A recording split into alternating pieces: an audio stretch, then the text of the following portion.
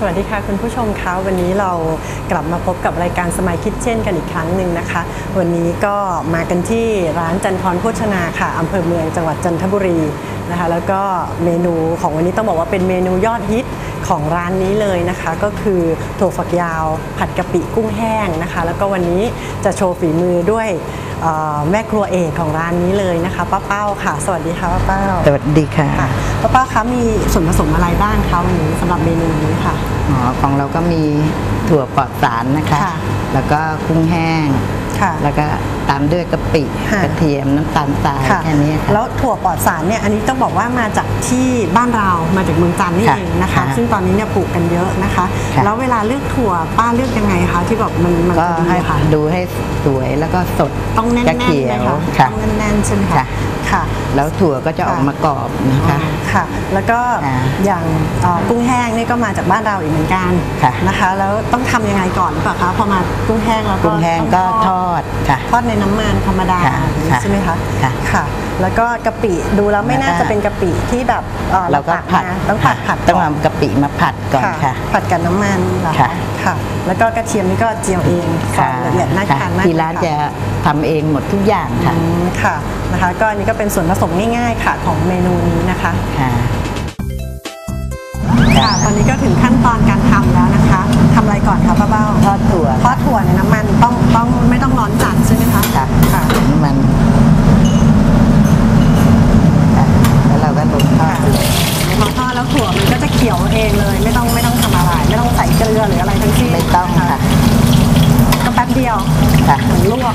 ขึ้นเลยค่ะค่ะแล้วถั่วก็จะกรอบอืมจะหวานค่ะค่ะโอเคเสร็จทีขั้นนี้ตอนเราต่อไปก็ค่ะ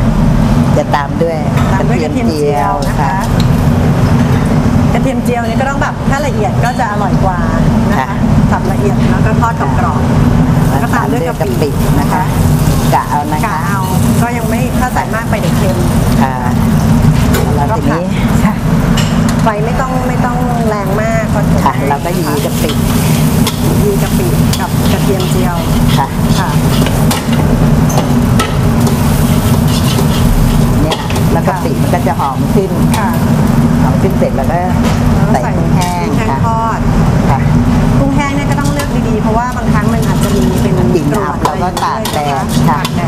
ต้องเอาไปตากแดดค่ะค่ะให้สวย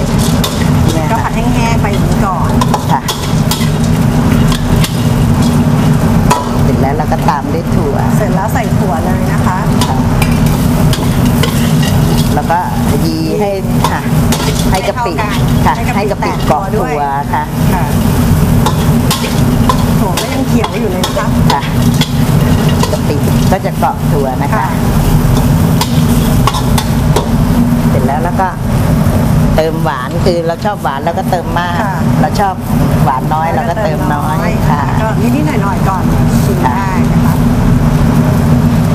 อันนี้ก็จานนี้ก็จะออกเค็มๆหวานค่ะๆ